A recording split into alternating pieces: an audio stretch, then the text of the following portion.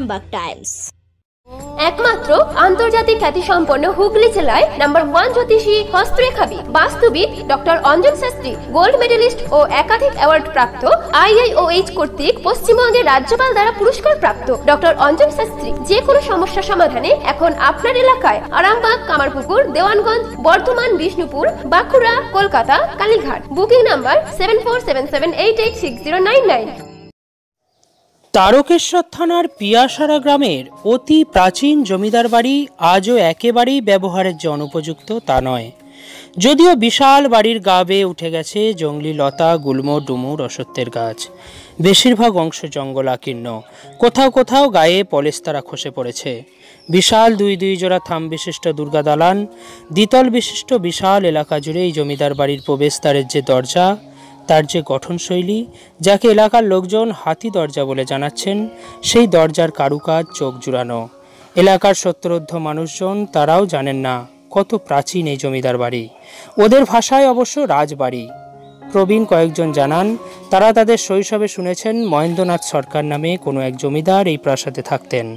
তারই এক মুখ ও বধির সন্তানকে তারা দেখেছিলেন। এই বাড়িতেই তার মৃত্যুও হয়। তাদের বর্তমান বংশধর কয়েকজন আছেন যারা কলকাতায় থাকেন। কালে ভদ্রে আসেন। এলে ভেতরে দোতলায় থাকেন। সেভাবে এখানকার কারোর সঙ্গেই তারা মেশেন না। মাঝে মধ্যে শুটিং করতে কেউ কেউ আসেন। স্থানীয় পঞ্চায়েত বা ব্লক এই প্রাচীন জমিদার বাড়ির সংস্কার করতে এগিয়ে এলে এটি যে রীতিমতো দর্শনীয় স্থানে পরিণত হবে, সে বিষয়ে কোনো সন্দেহ নেই।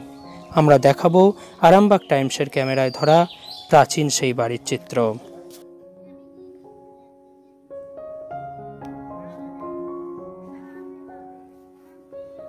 এই যে অবস্থা আমার তো যেতেই ভয় লাগছে।